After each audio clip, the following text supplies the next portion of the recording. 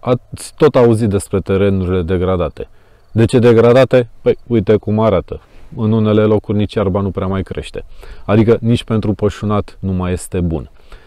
Cam cât ar fi în țară, eu știu două statistici. Una din 2014 de la Institutul Național de Statistică, potrivit căreia ar fi în jur de 500.000 de hectare de terenuri degradate și un alt studiu din 2007, potrivit căruia ar fi vreo 2,17 milioane hectare terenuri degradate. Dacă mă întrebați pe mine, adevărul este undeva la mijloc. Cert este că vorbim de sute de mii de hectare de terenuri degradate. Diversificate.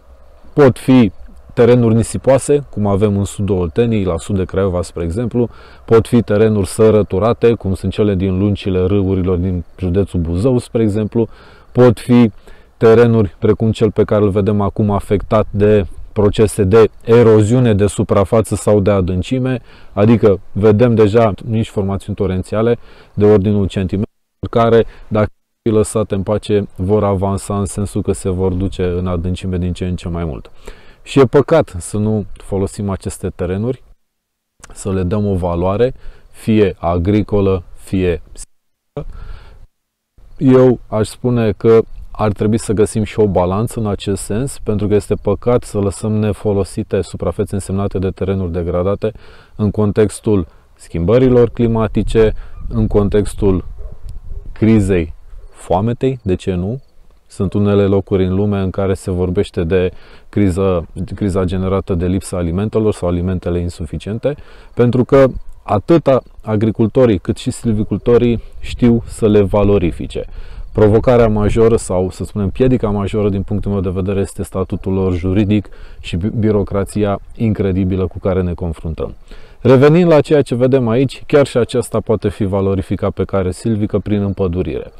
Dar, sigur, nu ne așteptăm să obținem o pădure cu niște arbori valoroși de calitate superioară și așa mai departe. Din punctul meu de vedere, ar trebui să ne concentrăm pe înverzirea terenurilor respective, în sensul să introducem orice specie, bine, specie care se pretează condițiilor specifice, astfel încât să-l, în primul și în primul rând, să-l acoperim. Pentru că un teren asemenea descoperit este predispus în continuare proceselor de eroziune. Spre exemplu, aici, neavând rezultate analizelor de sol, dar așa la o primă vedere eu aș planta cătina. Un arbust fenomenal, îi se spune alifia terenurilor degradate, ba mai mult un arbust care furnizează fructele extrem de apreciate cu o valoare culinară, de ce nu, dar și cu scop medicinal.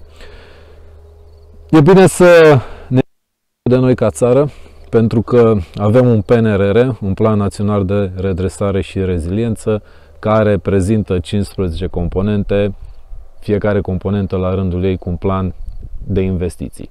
Este și o componentă dedicată mediului, unde una din investițiile majore este cea de creare de păduri noi.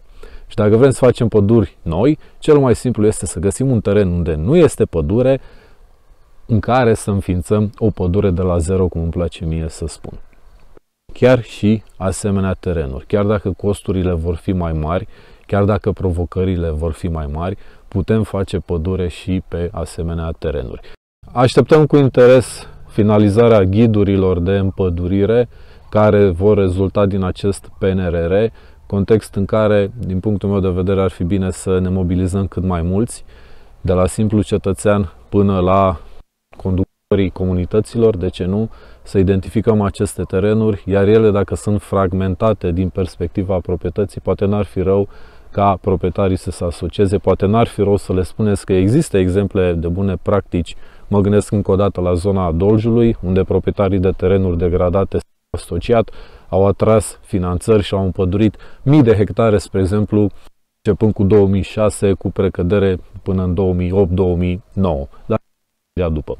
Deci, haideți să ne mobilizăm, haideți să identificăm terenurile degradate, haideți să urmărim acele ghiduri de împăduriri și în momentul în care acestea vor fi pe piață, ca să spun așa, să accesăm fondurile disponibile și să împădurim cât mai multe terenuri. Vă reamintesc, că ținta de țară este de 56.700 de hectare până în 2026, sub vorbim de păduri noi create de la zero. Numai bine!